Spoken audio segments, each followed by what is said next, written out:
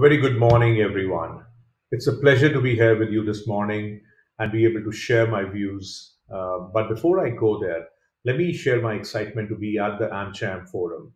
I've had my association with AmCham for a few years now, and uh, I was chairing the AmCham India chapter. So it's been a delightful journey, and I thank the AmCham team in Singapore for giving me this opportunity. It's it's a great moment for us to be able to share uh, the learnings that we've had over the last one year, however unfortunate uh, the incidents have been and the overall environment have been, it is still a moment of great learning for us, which is completely unprecedented in, in all of our lives. And that presents a great opportunity for us to do things which are very different and drive drastic change versus incremental change. I'd like to share with you our learnings and some of the trends that we that we see across in the tech industry. But before I go to the trends, I think we are at a very pivotal moment in time as an industry. If I look across the world, uh, the International Monetary Fund projects that global GDP will contract about 4.4% in 2020 as the pandemic economic impact has nearly affected every country in the world. The contraction that we've seen in most advanced economies was actually projected to be about 5.8%, with a comparatively muted 3.3 decline in emerging markets and developing economies.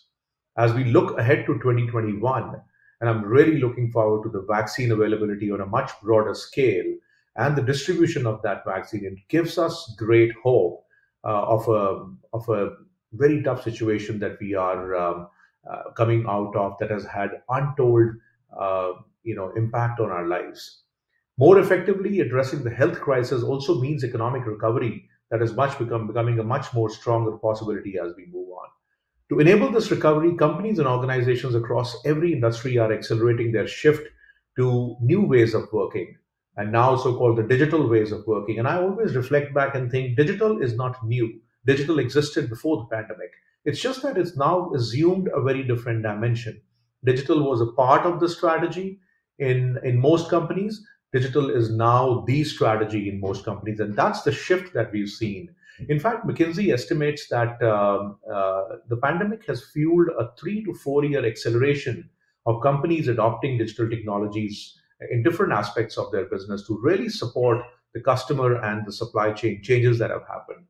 Business as usual is just not enough to jumpstart the growth that we are seeing in 2021. The most successful companies, large or small, are embracing technology to modernize their organizations to drive efficiencies, but importantly, serve customers and the new expectations of their customers in today's time, exploring uh, the solutions that enable them to really do this in a sustainable manner. Now, as we look at this, there are three specific trends that business leaders must consider to fuel their recovery and really chart the course of uh, growth 2021 onwards. The first one in our mind is that every business needs a digital front door. Let me explain. The very remote nature of our lives, which is here to stay, is compelling businesses not to only rethink the customer experience, but also to now drive their businesses through data versus gut. Many of us have kind of come around their industry journeys, taking decisions with a combination of data and gut now is the opportunity to really fundamentally change how we take decisions. A physical footprint is no longer enough to sustain a growing business. Today, customers they demand a digital front door that is transcending virtually every industry. I'll give you a few examples. Healthcare providers need a very secure, scalable platform that supports uh, a digital interaction with the patient, uh, something which has been famously known as telemedicine in the past. In retail, Companies are using AI and machine learning to deliver a much better, more accurate online experience. The digital front doors are also changing the way governments work and engage with citizens, like leveraging uh, the cloud to distribute uh, unemployment insurance online and now the vaccine distribution, etc. With digitization also comes the opportunity for businesses to use data analytics to make smarter decisions and get closer to their customers by creating a more useful and productive experience. How organizations create and transform their digital front doors will define their opportunities and, more importantly, their relevance for tomorrow. Let me move on to the second aspect of once you've decided to have a digital front door, what do you need to do as a company to really make it come alive? really impact your, your cost structures, you have to re-platform for the future. The macroeconomic and the geopolitical uncertainties, they create unknowns for every business. Now, this is leading CEOs and CFOs to continuously look for areas in their organization that they can optimize.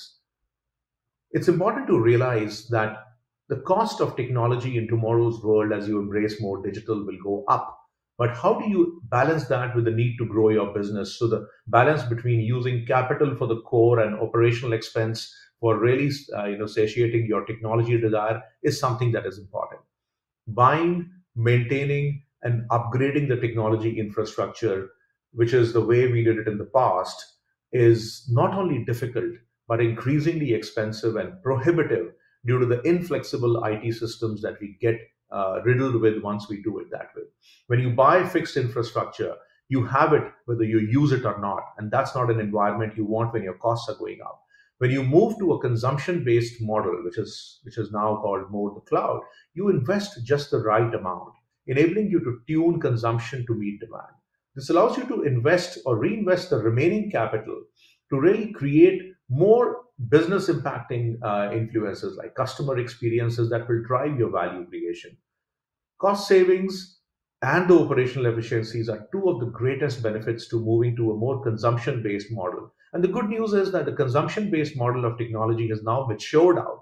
It's no longer early days and nascent that people have not seen the benefit. It's really, really matured out. In fact, Gartner estimates that infrastructure as a service is expected to grow closer to 28% in 2021. Additionally, companies are also realizing the potential of having a multi cloud strategy, which allows them to really achieve the best of all the worlds, achieve an open, secure infrastructure that can run in any environment. Growing and innovative companies are moving their entire structure, infrastructure from an on premise environment to a more hybrid and finally a, a cloud environment to really transform its digital operations. They're embracing a, a multi cloud strategy and harnessing the benefits and opportunities to transform their companies in the new digital world or the, or the world that will be led through digital in that sense.